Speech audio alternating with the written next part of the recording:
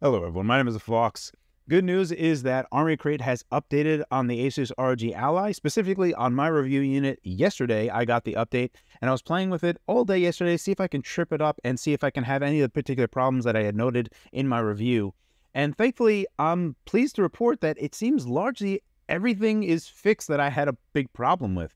So uh, this is really good news, specifically because when I did my review video, I had the understanding that it had to be fixed by the time this launches, right? It can't get into people's hands in the state that it was at. So I was banking on this, and I even said this in my review video, saying like, you know, software, software, and that can get fixed. So I'm happy and pleased to report that uh, I didn't have to, go in that particular angle, just show it off in the review video. But now everyone should really have a better idea of where Armoury Crate is right now because it's in a much, much better state.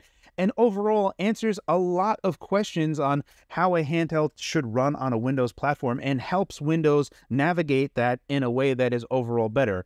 The front end management that they have on Armoury Crate, this is also prior as well, but how that's been fixed, they also kind of change that up a little bit in how that content is presented and it's better in a better way. I'm going to show that to you in the video. But even small little things like Windows notifications actually appear as a little bell inside of Armoury Crate's dashboard. Uh, how the quick access menu opens up. Little changes that they added with having the sound menu in there. The one feature that I would ask of Asus is if they could potentially have a way in the quick access menu of Armoury Crate if you could force quit a game through that application. That is something that I really wish would be there. Uh, that's the only thing that I would wish for right now outside of something like an auto TDP like function. I am going to be covering auto TDP stuff soon. Uh, that'll probably be for next week. The next video I have for the uh, uh, ROG Ally is the SSD upgrade. But right now I'm going to show you some stuff that is in Armoury Crate that is there, but I'm happy to report that it is largely fixed. All right, so here we are taking a look at the latest Armoury Crate. And by and large, this should look very similar to a lot of people that have already seen different reviews for it.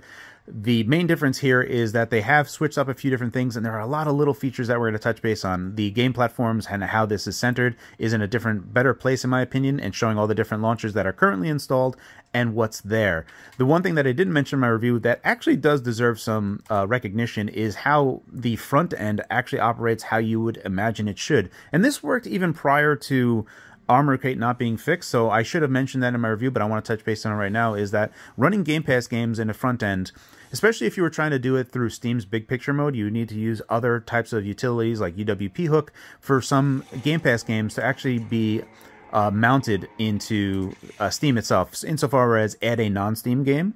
So having it just work is such a a big thing for me. The one thing that I wish that they that Armoury Crate Asus would add is that in the quick access menu, if we take a look at what we can add over here, if there was a possibility to have like a, a an end task, if it could detect the game that was running and we could force quit the game, uh, that is one button that I would love if Asus could add. If we could just have that so that I could quickly close a game, uh, that is one feature that I would love to see in Armoury Crate myself.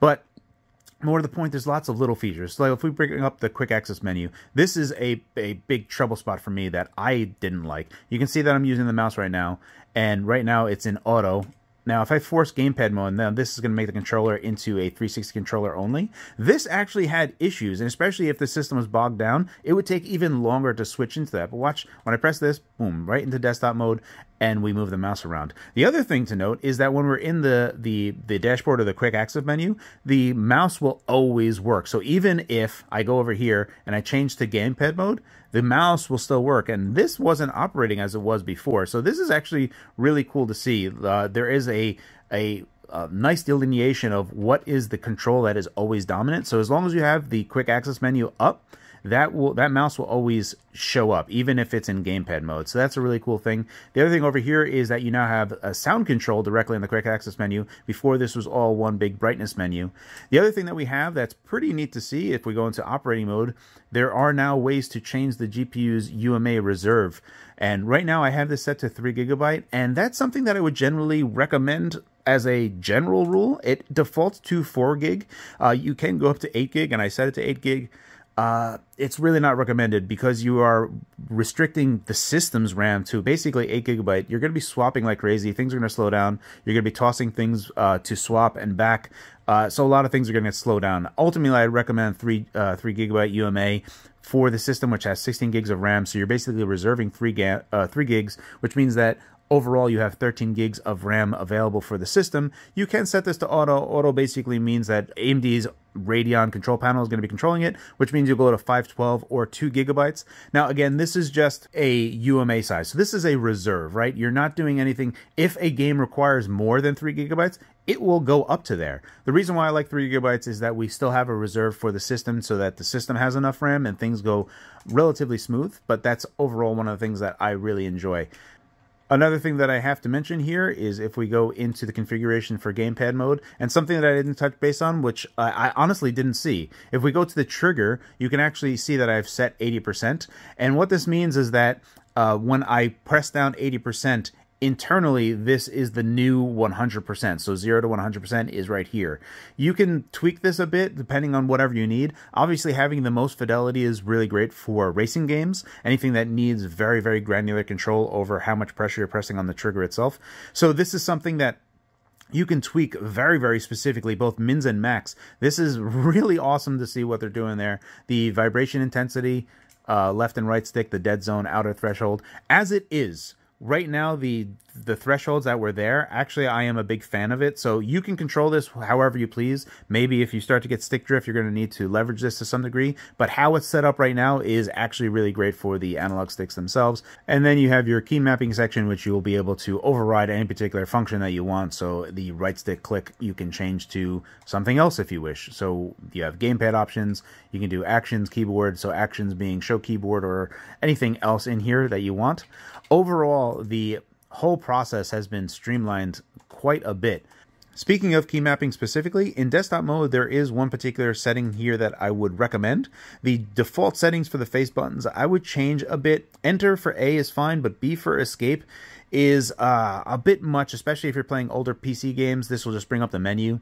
I would change these to some of the older buttons that PC games typically like, either left shift, left control, uh, ZXVC, those types of buttons on the key, uh, keypad, because that will, you know, be better for the system. And then I would change the analog the analog stick and the D-pad are set for both the arrow keys. I would change the analog stick to WASD, so WASD, so W WASD.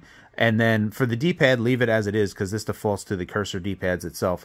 So what you're going to have is a situation where you can play almost any desk, any any old PC game, and you'll be in a situation where if you go to desktop mode, it's going to work arguably pretty well, especially with having the mouse already functioning. The last bit I want to talk about is the operating mode. Now, in manual mode, they still limit the PL2 and PL4 windows to 15 watt. So generally speaking, what you're going to wind up having is that you're going to see situations that even though you can set the main sustain limit to a 7 watt limit, that you'll have a bursting period of a few minutes, a uh, minute and 20, a minute and 30 seconds of these higher TDP values. Now, of course, Ryzen Adjust still works with this, and there are some other things that I still need to talk about, especially some auto TDP apps that will work on this, and that'll be for a future video that I'll cover. Right now, I just want to touch base on Armoury Crate being largely fixed. So when you are getting your Asus ROG Ally, you should feel confident knowing that I've been using this for a day now, and it's like night and day in terms of how much more stable this has been. So I'm a big fan of this particular update. All right, so that's it for this particular video. Just happy to report that Armoury Crate is in a much better position than it was just a few days ago. So when you guys do get your Asus ROG Ally, you should have the confidence knowing that it's going to be a rather solid experience. Uh, overall, just really pleased to report on this. So that's it from me. As always, guys, thank you for your time, and thanks for watching.